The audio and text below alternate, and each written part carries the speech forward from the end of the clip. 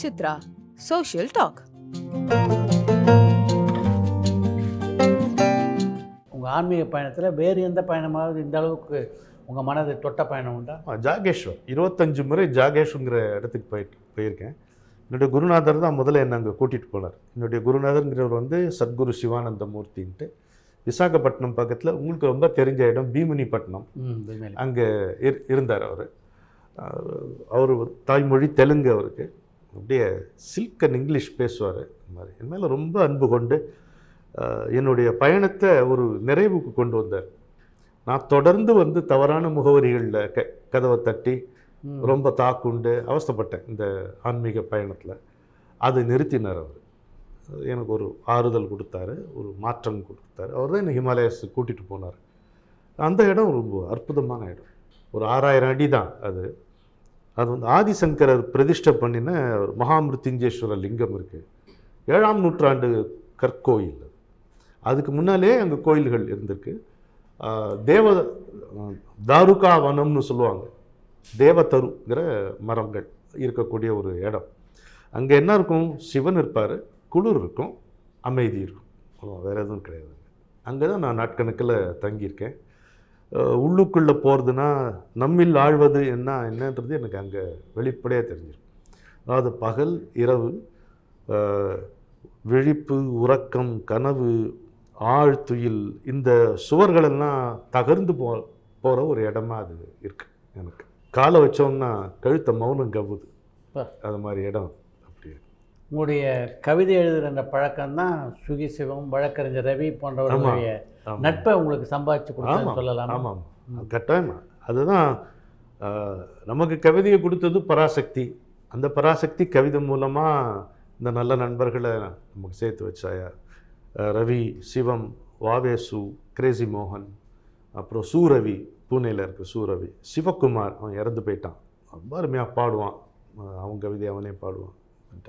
இப்படி ஒரு வட்டத்தை ஏற்படுத்திடுச்சு. இதில் என்னென்னா நான் குறிப்பிட்ட இந்த ஆட்கள் எல்லாருமே ஆளுமைகள் தான். ரொம்ப மெத்த படிச்சவங்க கற்ற எனக்கு அந்த படிப்பெல்லாம் கிடையாது. படிச்ச மாதிரி பேசுவேனே தவிர எதுலேயுமே ஒரு ஆழம் கிடையாது கல்வி கிடையாது. ஆனால் இவங்க எல்லாருமே என்னை ஒரு செல்ல குழந்தையா கொண்டாடுவாங்க. ஒரு வரியில் சொல்லலாமா? எந்தவித சிறப்பும் இல்லாதவன் எல்லா விதங்களிலும் பாக்கியவான். இதான் நான். நிம்மதியா இருக்கு. சுகி சிவம் வழக்கறிஞர் ரவி கிரேசி மோகன் இவங்களோட உங்களுக்குள்ள நட்பை பற்றி சொல்லுங்கள் வாடா போடா நட்பு தான் அது. ஒரு மேடையில் நாங்கள் இருந்து ரெண்டு பேர் இருந்து சேர்ந்து பேசும்போது ரொம்ப சிரமப்படுவோம். நாகரிகமாக பேசணுங்கிறது. ரொம்ப ரொம்ப சிரமப்படுவோம். சுகி சுகிசிவம் ஒரு மேடையில் அந்த காலங்களில் அவன் வசந்தம்னு தொடர்ந்து ஒரு நிகழ்ச்சி பண்ணிட்டு இருக்கோம். கிருஷ்ணா ஸ்வீட்ஸ் பாரதிய வித்யாபவன் தொடர்ந்து. எண்பத்தாறு நிகழ்ச்சி பண்ணியிருக்கோம். அதில் வந்து அஹ், சுகிசிவம் நிவாயம் ஒரு வாட்டின்னு வந்தான் முதல்ல அவங்க ஆடியன்ஸுக்கு அது ஒரு பெரிய ரெவலேஷன் மாதிரி இருந்தது. அவ்வளோ ரிலாக்ஸ்டாக ஒரு சிவத்தை அவங்க பார்த்ததே கிடையாது. சிவம் முறுக்கத்தன் இருப்பார் ரொம்ப ரிலாக்ஸ்டாக இருந்தான். இந்த பாருங்க தப்பாக நினைக்காதீங்க. நாங்கள் வாடா போடான்னு கூப்பிட்டுக்குவோம். எங்களது வாடா நட்பு அப்படி தான் இருக்கும். அப்படிலாம் சொல்லியிருப்போம் நல்ல நல்ல நிகழ்ச்சி. ரவி வந்து என்னை பொறுத்த மட்டும் கவிஞர்களின் கவிஞர்.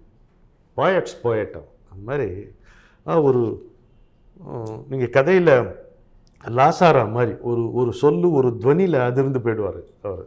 நான் பார்த்துருக்கேன் அவரை. வீதியில் நடக்கும்போது கெட்ட வார்த்தை கேட்டாருன்னா செதிஞ்சு போயிடுவார். ஓ தாங்க முடியாது அவர். ரொம்ப சென்சிட்டிவ் ரவி அது மாதிரி சென்சிட்டிவ் தான்.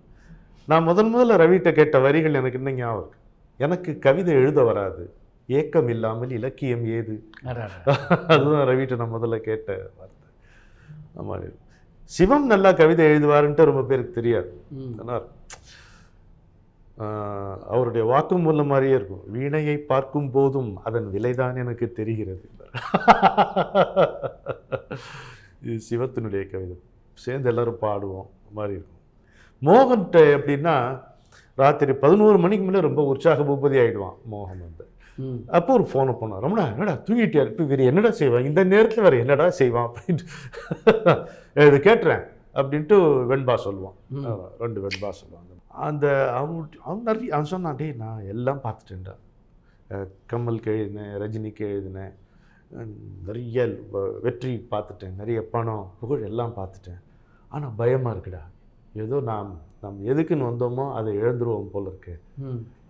அதை அடைய மாட்டேன் அப்படி நீ அப்படியே சொல்கிற நீ அப்படின்னு சொல்லி அவனுக்கு நான் ஆறுதலாக அவனுக்கு அதாவது உள்ளே இருக்கிற அந்த ஆன்மீக ஏக்கம் இருக்கு பாருங்க. அது வந்து எனக்கு ஃபோன் பண்ணி பேசுவான். ம். மோகன் கூட அதுதான். சிரிக்க சிரிக்க பேசுகிற மோகன் வேற. ரொம்ப சீரியஸாக அந்த ஆன்மீ ஆன்மீக ஏக்கத்தினால உந்தப்பட்டு ஒரு தவிப்பு விஷாத யோகம்னு சொல்லுவாங்கள்ல அது மாதிரி அந்த ஒரு சோகம் இல்லை அது. உப்பு புளி மிளகாய் விவகாரம் கிடையாது. உள்ளார்ந்த ஒரு ஒரு ஏக்கம். இனம் புரியாத சோகம். அது வரும் அவனுக்கு. இன்னைக்கு உங்களுடைய நண்பரான சுகேஷிவும் சொல்வேந்தரா திகழ்றார். ஆமாம் ஆமாம் அவர்கிட்ட நீங்கள் பார்க்குற சிறப்பான அம்சம்னா எதை சொல்றீங்க? சிவம் வந்து உங்கள் ஆடியன்ஸினுடைய பல்ஸ் ரொம்ப சுலபமாக தெரிஞ்சிருவார் பிடிச்சிருவார். ஆ எனக்கு இன்னைக்கு வரைக்கும் அந்த பேச்சு திறமையெல்லாம் எனக்கு கிடையாது. அவன் முதல்ல திறமை வந்துருச்சு. அப்புறம் தான் பேச்சே வந்தது அவனுக்கு. அது மாதிரி. ஆனால் ஆனால் நான் இன்னும் சொல்லப்போனால் என் நண்பன்றதுனால சொல்லலாம். நான் அந்த பழைய சிவத்தை தான் இன்னும் விரும்புவேன். ஆன்மீகம் பேசின அந்த சிவம் திருவாசகம் பேசின அந்த பாரதியாரை பற்றி பேசின அந்த சிவம் தான் என்னை கவர்கிறான். அப்படி அவர் பேசிய பேச்சில் உங்கள் நினைவு விட்டாங்களா அந்த பேச்சு ஏதாவது? இருக்கு? இப்போ விவேகானந்தரை பற்றி விவேகானந்தா காலேஜில் ஒரு இன்டர் காலேஜ் டிபேட்டில் அவர் பேச பேசுனது நல்லா என்னமோ ஞாபகம் இருக்குது அப்போ என்ன அவரும் காலேஜ் ஃபைனல் இருந்திருப்பார் அந்த மாதிரி. இருந்துச்சுல செகண்ட் இயர் தேர்ட் இயர் இருந்திருப்பார். இவ்வளோ கஷ்டப்படுறேன் பாருங்க அவர் இவருன்னு சொல்கிறதுக்கு அப்படி பார்ப்போம் நல்லாயிருக்கும் பூவை சிக்காகோ சென்றான் பூவையர் கண்களில் சிக்காகோவாக திரும்பி வந்தான். இன்னும் அது ஞாபகம் இருக்கு அப் அதுக்கு அப்புறம் தான் சிவமே பழக்கம் எனக்கு. நீங்கள் எப்போ முதல் கவிதை எழுதினீங்க? ஆயிரத்தி தொள்ளாயிரத்தி எழுபத்தி ஒன்று அக்டோபர் நினைக்கிறேன். அது மாதிரி இருக்கும். அதெல்லாம் ஞாபகம் இல்லை தான். ஏன்னா எழுபத்தி ஒன்று அக்டோபர் அந்த அனுபவம் ஞாபகம் இருக்குது ஒரு நில ஒளியில் எங்கநல்லூரில் வெளியில் நின்றுட்டு இருக்கும்போது இன்றெனக்கு பிச்சை இல்லை எழுதிடவும் வகை இல்லை அப்படின்னு தொடங்கும். அது மட்டும் ஞாபகம். அப்புறம் நான் அப்படியே கவிதைகள் வர ஆரம்பிச்சது. பாரதியார் உள்ளே புகுந்தார் காளி உள்ளே புகுந்தாள் அதுக்கப்புறம் பாட்டு உள்ளே வந்துச்சு. சந்தோஷமாக வாழ்க்கையே பாட்டும் கவிதையுமா போச்சு. நாம் கவிதை எழுத ஆரம்பிச்சிட்டோம் அப்படின்னு எப்போ தோணுச்சு உங்களுக்கு? அது முதல்லேருந்தே தோணுச்சு. ரொம்ப அதில் பிரச்சனை லக்ஷ்மண்ஜி. ரொம்ப நாள் கழிச்சு தான் அதெல்லாம் கவிதை இல்லைன்னு புரிஞ்சுது. அது- அதுதான் அதில் விஷயம். அப்புறம் ரொம்ப சீக்கிரமே வந்து கைதட்டல்லாம் நிறைய வாங்கி வாங்கிட்டேன். அப்போ ஒரு எண்ணம் தோணுச்சு. இது எதுக்கு இதில் அப்படியே சிலிர்த்து போகிறோமே இதில் போய்? இதனால் நம்ம ஏதாவது மேம்பட்டோமா? என்னுடைய காமம் குறைந்ததா? கோபம் குறைந்ததா? பண்பு உயர்ந்ததா? அப்படின்னு பார்த்தா ஒன்றும் இல்லை. ஒன்றுமே இல்லாத இந்த விஷயத்துக்கு ஏன் இவ்வளோ புலகாங்கிதம் அடைவானே அப்படின்னு தோணித்து அப்போ இந்த கவியரங்கள் கவியரங்கங்கள் எல்லாத்தையும் விட்டு விலகி இருந்தேன் முப்பத்தஞ்சு வருஷத்துக்கு அப்புறம் தான் திரும்ப நான் வைசாகிலேருந்து திரும்பி வந்த அப்புறம் தான் இந்த மேடைக்கே திரும்பி வந்தேன். தமிழ் எனக்கு தமிழ் மேடையே தெரியாது. தமிழ் மேடையே தெரியாது. இன்றைக்கும் பல பேர் வந்து எனக்கு அவங்க முகங்கள் ஒரு மாதிரி தெரியுமே தவிர பெயர்கள் தெரியாது. பழக்கம் கிடையாது எனக்கு. இது பராசக்தி செய்கிற கூத்து குசும்பு. அந்த காலத்தில் உங்களுக்கு ரொம்ப பிடித்த கவிஞர்கள் யார் யார் இருந்தாங்க? இதான் இந்த செட்டில் ரவி எனக்கு ரொம்ப பிடிச்ச வாவேசு ரொம்ப நல்லா. காளியனும் திரு பெயருடையாள் செல்லும் காலத்தை ஆள்கின்ற தன்மையினாள் சின்ன தூளியைப் போல் இந்த வையத்தினை ஆட்டி தூக்கத்தில் நம்மை மயங்க வைப்பாள். இது வாவேசு. சுப்பு எப்போவாது எழுதுவான் கவிதை. அதெல்லாம் குப்பிய கைகள் கூப்பியபடியே குப்புற விழுந்தேன் காளி. இனி ஏற்பதும் நீயே ஏய்ப்பதும் நீயே எப்படியோ செய் காளி அப்படின்பா இந்த வரிகள்லாம் நமக்கு ஞாபகம் வரும். வீரராகவன். நங்கநல்லூரில் நாங்கள் இலக்கிய வட்டமே நடத்திட்டு இருந்தோம். வீரராகவன் ஹரிகிருஷ்ணன். ஹரிகிருஷ்ணன்லாம் இன்றைக்கி பெரிய தமிழ் அறிஞனாக இருக்கான். நிறைய புத்தகங்கள் எழுதியிருக்கான். பெங்களூரில் இருக்கான். ஒன்று சொல்லட்டுமா? ஹரிகிருஷ்ணன் கவிதை ஒன்று என்ன அழகு பாருங்க. மல்லிகை. முல்லை மனமிகுந்த பூக்களுடன் புல்லொன்று மெல்ல புகுந்து எங்கள் வள்ளியின் மெல்லிய பாதத்தை மேவியதா? என் பாட்டு புல். பெற்ற வாழ்வினைப் போல். காற்றடித்த மணல் பரப்பாய் மனம் கிடக்கும் அதில் கால் பதிந்த சுவடு ஒன்று கவிதை சொல்லும். எப்படி இருக்கு பாருங்க? அவ்வளோ அழகு. வீரராகவன் வந்து வீரராகவன் எப்படின்னா வாழ்க்கையினுடைய கோரமான நிதர்சனங்களோடு மல்யுத்தம் செய்து செய்து அதுலேருந்து பிறந்த கவிதைகள். ஆனால் நம்பிக்கை தரக்கூடிய கவிதை. ஒரு புலம்பலுடைய தொனியை கூட அதில் பார்க்க முடியாது. ஒரு நாள் தொடங்கி முடியும் வரையில் எத்தனை போராட்டம்? ஒரு சான் வயிற்றின் உணவுக்காக எத்தனை ஆர்ப்பாட்டம்? ஓடும் வாழ்க்கை பாதையில் எத்தனை மேடுகள் பள்ளங்கள்? இதில் உயர்வோம் உயர்வோம் என்றே நம்பும் ஊமை உள்ளங்கள். இது மாதிரி பாருங்க எப்போ கேட்டு இளையவன் அவர் எனக்கு மூத்தவர். ஆனால் பேர் இன்றைக்கி ஹைதராபாத்தில் இருக்கான். பத்மா சுப்பிரமணியம் அவங்க வீட்டில் ஆயிரத்தி தொள்ளாயிரத்தி எண்பதில் ஒரு கவியரங்கம் நடந்துச்சு. நவராத்திரிக்கு. இளையவன் தான் தலைமை. நான் பராசக்தியை பற்றி பாடினேன் எல்லோரும் நீங்கள் அலைமகள் கலைமகள் மலைமகள் பாடுறீங்க. நான் குலமகளை பற்றி பாடுறேன்ட்டு. நம்ம வீட்டு பெண்மணியை அவதான்டா தெய்வம் அப்படின்னு சொல்லி பாடுவோம் அப்படின்ட்டு. அந்த கவிதையை தொலைஞ்சு போச்சு. என் மனசில் ஞாபகம் இருந்த அந்த நான்கு அஞ்சு வரிகள் தான் அந்த கவிதையில் இருந்தது. அவன் சொல்லுவான் வீட்டுக்குள் பூசல் என்றால் வீதிக்கு சொல்ல மாட்டாள். கோட்டுக்குள் இருந்து கொண்டே கோவிலை பாதுகாப்பாள். வாட்டங்கள் உண்டு சொல்லின் வலி உண்டு. இருந்தும் இந்த தோட்டத்து துளசி மாடம் தெருவுக்கு போவதில்லை. எப்படி சொல்லினால் சுடுவேன் என்று சொன்னவள் கதிரோன் இந்த எல்லையில் கூடாது என்று எதிர்த்தவள் யமனை வென்று வல்ல தன் துணையை வாங்கி வந்தவள் கணவர்க்காக நல்ல நீரோட்டத்தோடு நடந்தவள் வாழ்ந்த நாள். இது சொல்றேன் பாருங்க. அதிசயம் பெண்ணின் மேனி அதனால்தான் பாதுகாக்க பதினெட்டு முழத்துக்குள்ளே பதுங்கினாள். இரவில் மட்டும் பதி தொட்டு பார்ப்பதற்கு பழகினாள். கிழக்கை அந்த கதிர் தொட்டு பார்க்கும் முன்னல் முன்னர் காணாமற் போகலானாள். பெண்மையினுடைய வீரியத்தை சொல்லுவோம். காரிருள் குழல் விரித்து கண்ணகி நின்றாள். அஞ்சி சூரியன் கேட்டான் தாயே சுடட்டுமா? என்று. சூரியனுடைய வேலையை சூடு பண்ணணும்ல பெர்மிட் பண்ணுவியான்னு கேட்குறான் காரிருள் குழல் விரித்து கண்ணகி நின்றாள். அஞ்சு சூரியன் கேட்டான் தாயே சுடட்டுமா? என்று. இந்த வீரியம் கற்பாலன்றி விளையுமா? இந்த நாட்டின் பேரிருள் நீக்குதற்கு பெண்மைதான் விளக்கமா எப்படி இருப்பார் இந்த மாதிரி மிகப்பெரிய பாராட்டுதல உங்களுக்கு பெற்று தந்த உங்கள் கவிதை எது? இதே நாரத கான சபால என்னுடைய கவிதை நூல்கள் வெளியிடும் போது கேபி பத்மா சுப்பிரமணியம் சுகிசிவம் புதிய வெப்பன் அவரும் இருந்தார். இந்த பக்கம் எதிர எனக்கு வந்து அந்த ஆடியன்ஸ் காம்போசிஷன் வந்து தமாஷா இருக்கும். ஒரு பக்கம் வந்து கார்கி இளவேனில் ஈரா ஜவஹர் இவங்கெல்லாம் இருப்பாங்க. பொது உடைமைக்காரர்கள்லாம் இருப்பாங்க. இன்னொரு பக்கம் நல்ல பழுத்த ஆர்எஸ்எஸ் காரங்க இருப்பாங்க. இது மாதிரி. எல்லாம் நான் வந்து பிச்சைக்காரன் திருவிடு மாதிரி என்ன வேணா இருக்கும். இல்லை அது அதனால் அப்படி எனக்கு வந்த கூட்டமும் அப்படி. பார்ப்பதும் மாயையாம் பேச்சலாம் தீமையாம் பாவத்தின் விலை வையமாம்.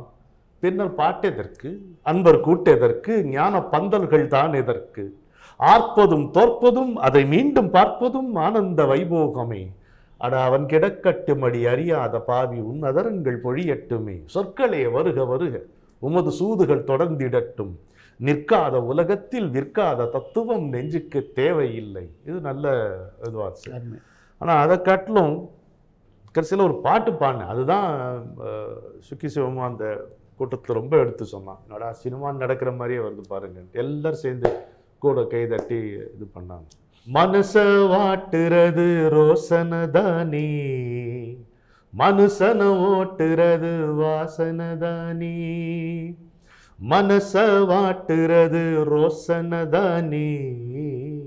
மனுஷன ஓட்டுறது வாசனை தானே விருப்பும் வெறுப்பும் வெறும் ஞாபகம் தானே.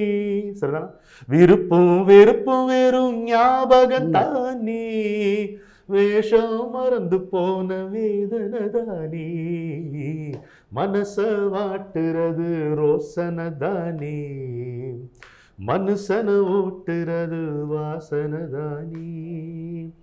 ஆடாத குளத்து தண்ணி அறியாம எரிஞ்ச கல்லு ஆட துரத்துதம்மாலையாக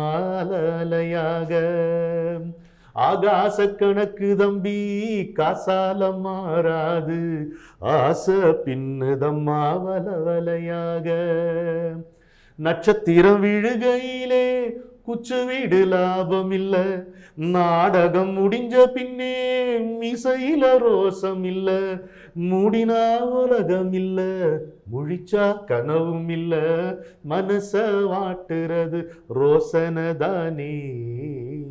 மனுஷன ஓட்டுறது வாசனை தானே.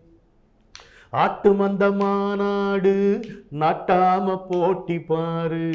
கோவணத்தை கட்டிக்கிட்டு சிரிக்கிறாரு கோனாரு கண்டதே காட்சின்னு சண்டை ரொம்ப வளர்ந்துருச்சு.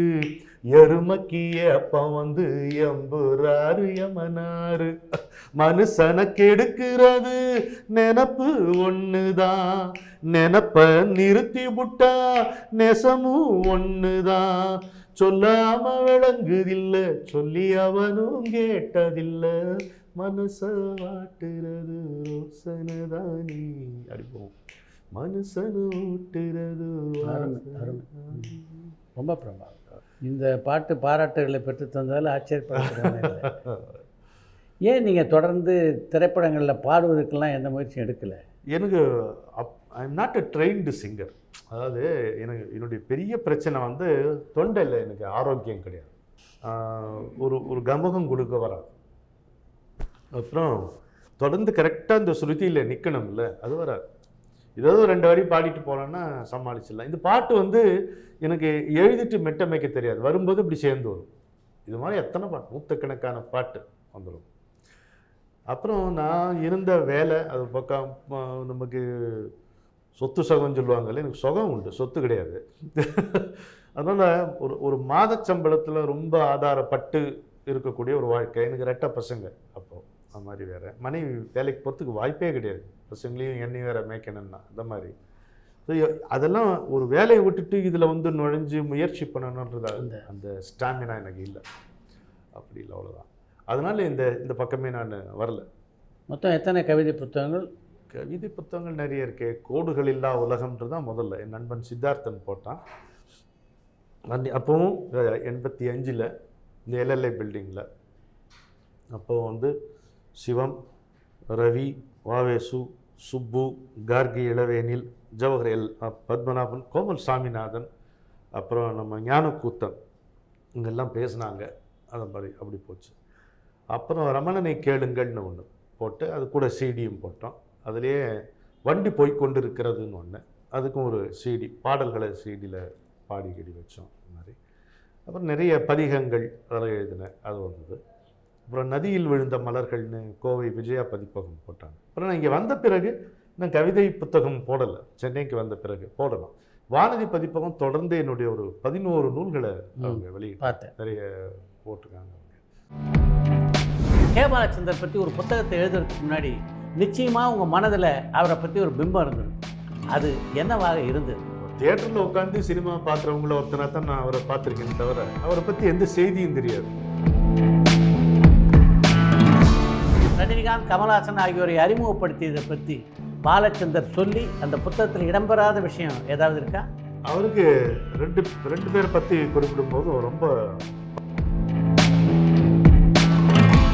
நாகேஷுக்கும் பாலச்சந்தருக்கும் ஏற்பட்ட மோதலை பற்றி பாலச்சந்தர் உங்ககிட்ட சொன்னாரா?